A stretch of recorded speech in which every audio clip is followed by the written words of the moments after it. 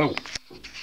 I didn't think I was going to do another update on the Freemo modules just yet, but I thought I'd just do a quick one before I put things away actually. Um, done a little bit more on Sheldon. So we've got some houses and fences in place now. Bit of static grass and green material down.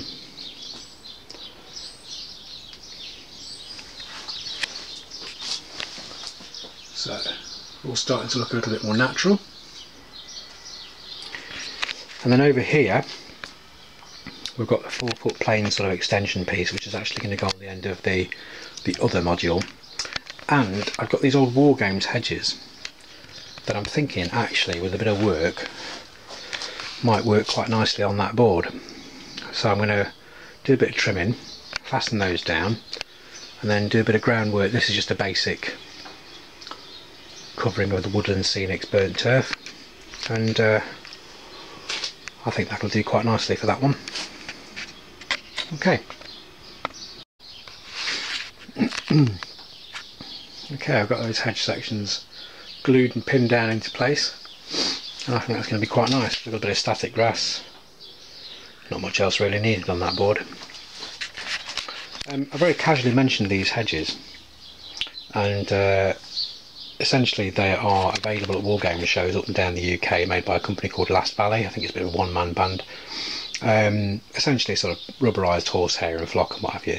And they come in these 12 inch sections and he makes various trees and bits and bobs as well. Quite reasonably priced. Um, they tend to have these sort of rounded edges. I think it's like MDF or whatever they're based on so that you can place them and move them around on a war games table but obviously for my purposes I need them to be a bit more permanent. So all I've done is just kind of done a little bit of cutting and splicing and uh, as I say as well as gluing them I've just pinned them so they're a bit more level on the board and I'll just blend them in with a bit of greenery and hopefully they'll be quite nice.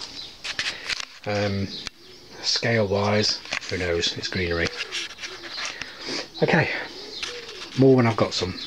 Cheers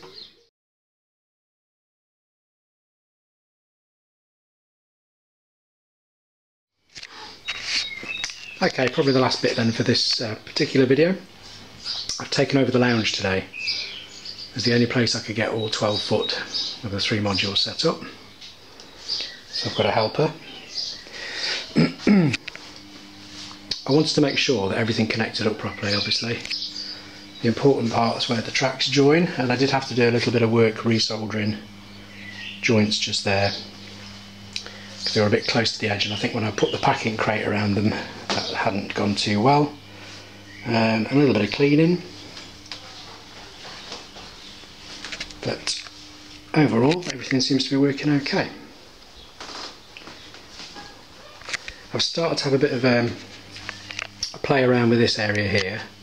So I've just scratch built a little side building for the elevator and just mocking up a couple of silos to see how they look and I think I'm going to put a couple of grain silos there like that. That'll probably be enough give it all a repaint of course. Still some work to do on the road area and that area there, but I think that bit might stay fairly clear actually. Probably just a few vehicles and sheds.